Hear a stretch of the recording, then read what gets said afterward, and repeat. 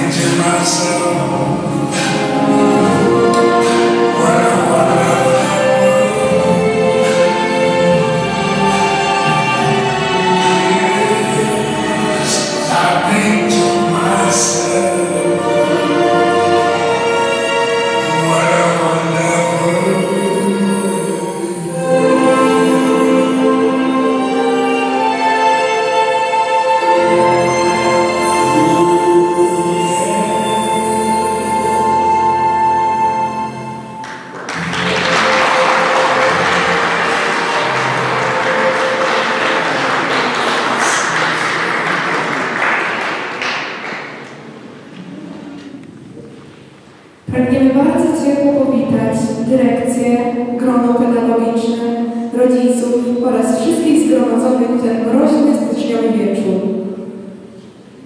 Już niedługo staniemy przed trudnym wyborem naszej dalszej drogi. Gimnazjum w Obłoniach jest miejscem, które na zawsze pozostanie w naszej pamięci. Przybyliśmy tutaj trzy lata temu beztroscy, weseli i gotowi na nowe wyzwania. Byliśmy trochę niepewni, czasami zagubieni, ale mieliśmy szczęście. Spotkaliśmy serdecznych, pomocnych nauczycieli, którzy ze wszystkich sił starają się dla nas jak najlepiej. Pan dyrektor, który zawsze obdarza nas swoim życzliwym uśmiechem. Pani dyrektor, która służy pomocą i z anielską cierpliwością uczy nas języka angielskiego. Wychowawcy, którzy starają się przede wszystkim wychować nas na dobrych ludzi. To właśnie teraz pragniemy na Państwa ręce, szanowna dyrekcjo, kochani nauczyciele, złożyć słowa gorących podziękowań za ciepły uśmiech, tak bardzo potrzebny w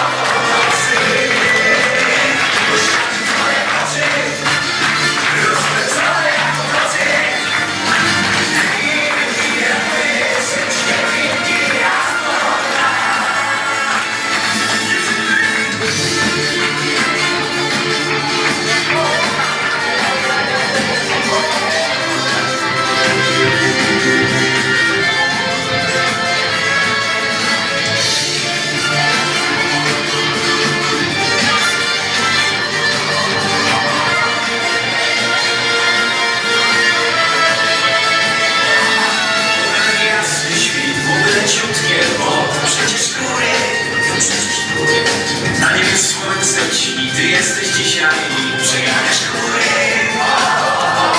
Musi mi teraz da, jakbym więcej Będziemy sami